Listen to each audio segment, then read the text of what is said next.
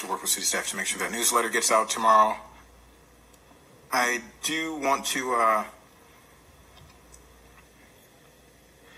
I do want to say that uh, I, I just want to add my uh, voice. We haven't had a council meeting since um, the the revelations about what's going on at the lakefront, and uh, I personally, uh, well, no, I, I as a council member of the city of Evanston, um, want to say I am sorry uh, to uh, particularly the young ladies at our lakefront. Uh, sorry to the entire city. Uh, sorry to um, sorry that we dropped the ball on this um, and that we did not rectify this sooner. And I am committed to, with along with my colleagues and um, and, and, and our staff, to now try our best to uh, rectify that situation uh, with the independent investigation. Um, and and we will do better. I, I you know I will uh, ensure that while I'm here that you know and, and I'm sure many of my colleagues uh, agree with this that we we have to and will do better. So thank you. Councilmember Wynne. Uh, yes, thank you, Mr. Mayor.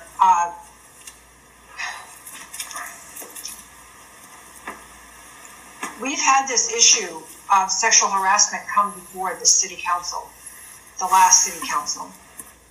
I find it really rich, really rich that a council member who is the subject of that sexual harassment, multiple sexual harassment claims, now is apologizing when he didn't apologize before. As someone who has dealt with sexual harassment in my career, I am just as appalled today as I was several years ago. Point, point. I, I, I would like uh, to. I would like the investigation, since we're talking about sexual harassment. I would like to expand. Mr. it. Mayor, It- it- Mr. Mayor, I, I did not say anyone's name. Well, come on. I Let's don't let's, wanna- let's I- this don't is- don't I- play that I game, made my Alderman. Let's not talk over each other. Go ahead, Councilmember Wynne. I, Mr. Mayor, I've made my statement and made my statement several years ago about this. I just find it unbelievable that a member of this city council who was, who would apologize now when he never apologized before. Councilmember Reid, Uh. now I've said it. You, you were, you were, It was clear before. Well, no, no, Mr. Mr. Councilmember Reid, I, I, I cannot believe you are apologizing now. Did you apologize to the women? Did you apologize harassed? wait, what let's- happened to let's- these young women? Why don't you apologize? Hold on, let's- Since you're outraged, I'm- apologize. let's what not happened to those? let's not talk over each other. Councilmember Reid, your name was mentioned. You can absolutely respond um, when Councilmember Wynne is is finished, which I believe she has. So, um, if we could all keep our comments um,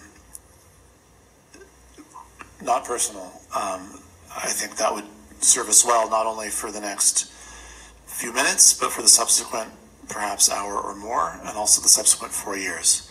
Um, Councilmember Reid. I, I I would like the, the investigation. There was a, a very serious allegation that was just very clearly lodged against me. I was literally the only person here who apologized, and that's a damn shame that you didn't apologize for what happened to those young women, whoever I'm speaking to. Um, and I want to ensure, uh, I, I would like to, we can discuss it in exec, but th- this is, that is wholly inappropriate. Councilmember Nieuwsma.